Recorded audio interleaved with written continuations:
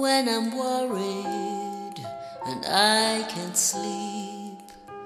I count my blessings instead of sheep, and I fall asleep, counting my blessings.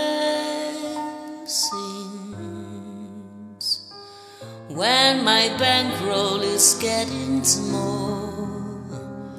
I think of when I'd none at all, and I fall asleep, counting my blessings.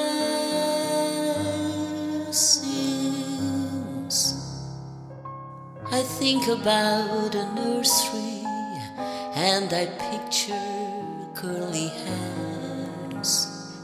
One by one I count them as they slumber in their beds. So when you're worried and you can't sleep, count your blessings instead of sheep, and you'll fall